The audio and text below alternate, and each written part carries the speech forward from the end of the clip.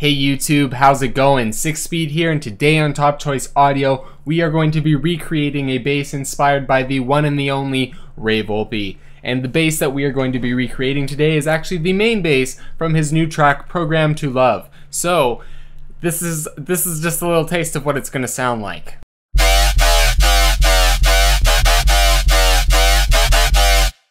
So if you guys are interested in learning how to make this, make sure to stay locked till the end.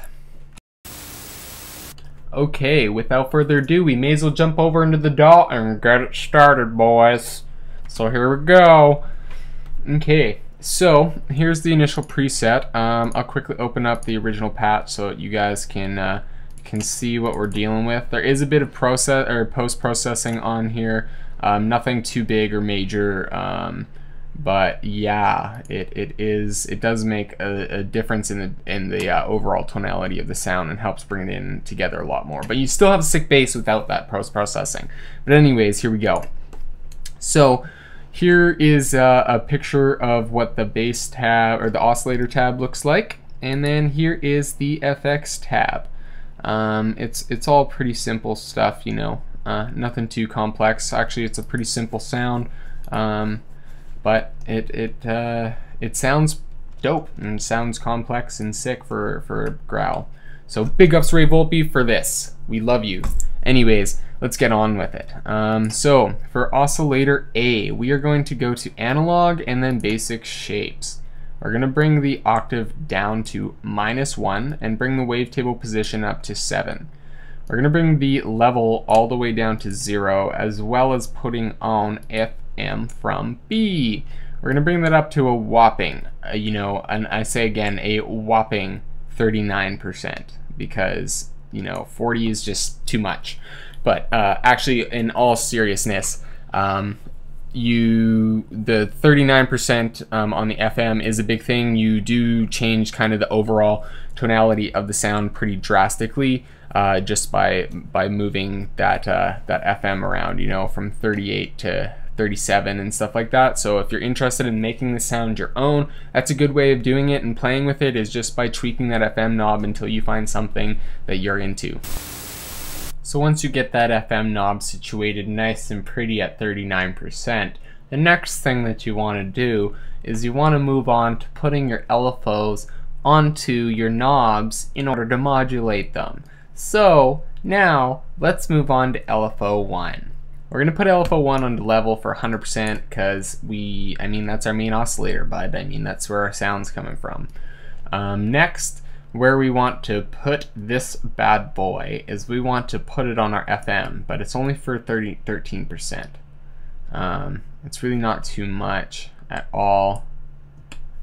Um, once that's good, uh, that's pretty much it for oscillator A. Um, now we want to move on to oscillator B.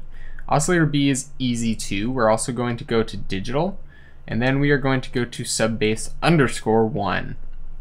Next, we want to take the wavetable position, put it up to 84. Um, again, don't think it's super important because it doesn't seem to change too, too much. Actually, it doesn't really change at all.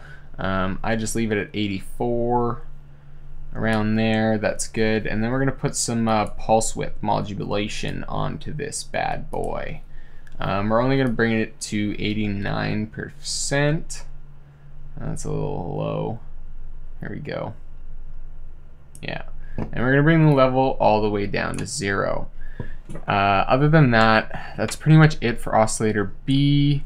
So let's do the sub oscillator. Make sure to turn direct out on, bring level all the way down, and uh, put LFO uh, 1 on to the level for 100%. We're going to bring the octave down to minus 1, and that is it for the oscillators. Now let's move on to the filter. We're basically going to go with the Phase 24 Plus flanger filter. Uh, make sure to turn on A and B so they're both going through the filter and being processed by it. And we're going to bring the cutoff down to 191 hertz. Uh, where, there we go. Cool.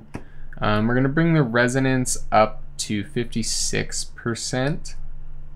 And then we're going to throw LFO1 onto the cutoff.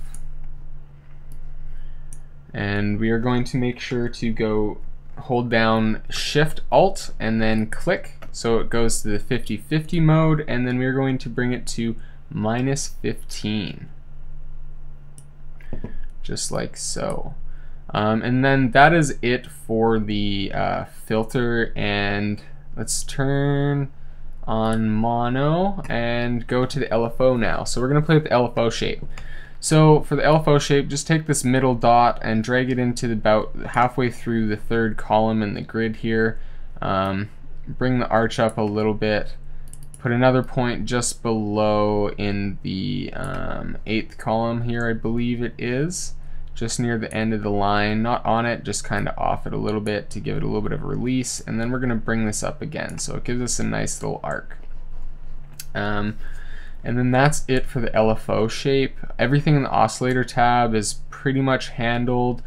Let's just quickly throw a uh, macro onto the rate so that we can play with that in the end. Uh, make sure to click, do the shift alt click so that we get it so it's only on one half instead of split 50-50 and then drag it down so that it's just going up to about an eighth note uh, which is about there which is about eight. Um, 8% with the LFO.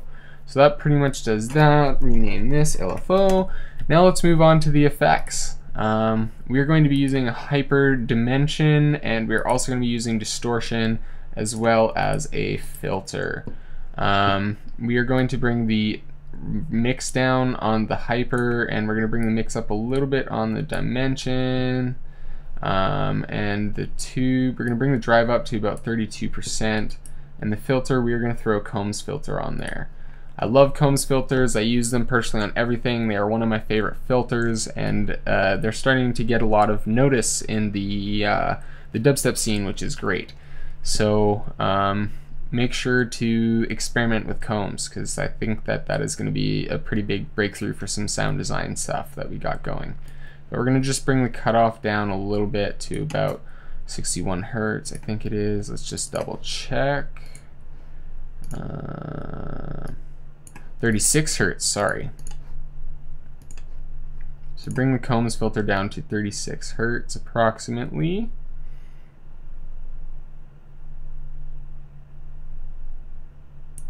Right there. And uh, let's check out the sound, to see how it's sounding so far.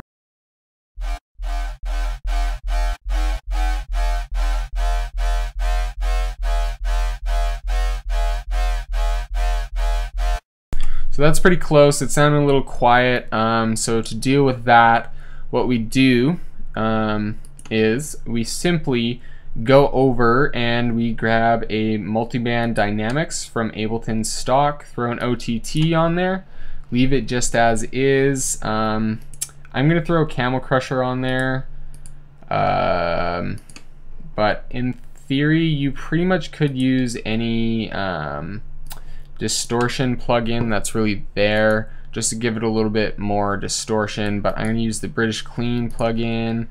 Uh, duplicate the OTT put it on the other side of the uh, Camel Crusher I'm going to bring this down to about 30% that's good and then duplicate the Camel Crusher with the British Clean again bring it to the other side of the OTT and then we're going to throw a little bit of reverb on here Where's reverb? Uh, R, R, R, R. There we go.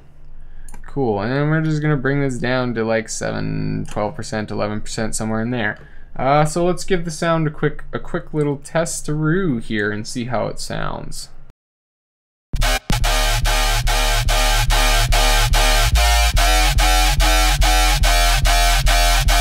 So yeah, that's uh, that's pretty much it for the tutorial today, guys. Uh, the only thing that I have left to really show you is that in order to get the uh, the the pitch modulation that you hear um, and the, the, to get the full movement that you hear when you listen to Ray Volpe's actual track uh, program to love is what you can do is go here and then you see this little bad boy over here the pitch bend. Just click on that. So it comes up when you're in automation mode on Ableton and then just click that little plus button down there so it gets its own track. And then from there you can choose to edit it. And this is how I got this effect.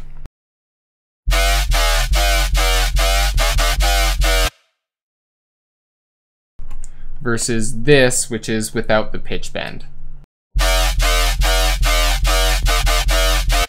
So as you can see, still a dope sound, but it's just not the same, you know? So make sure to add that pitch bend, experiment with it, and also don't forget to modulate the LFO because we threw that in there, because that's how uh, uh, you just get more movement and diversify your sounds. Well, there you have it, you guys. That is how to recreate the main bass from Ray Volpe's Program to Love. I hope you guys learned something today, as well as got some inspiration to be able to make some new tracks, because that's what this is all about, right? Trying to inspire other people to keep moving forward and progress our industry as much as we can. So thank you guys so much for tuning in and watching.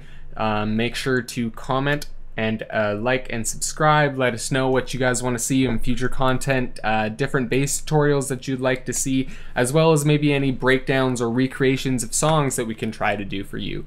Um, we got lots and lots of content already uh, uh, in store and finished and ready to roll out for you guys. So I hope you guys are ready for 2019. This is going to be the year for Top Choice Audio. So thanks again for watching. Sixxspeed out.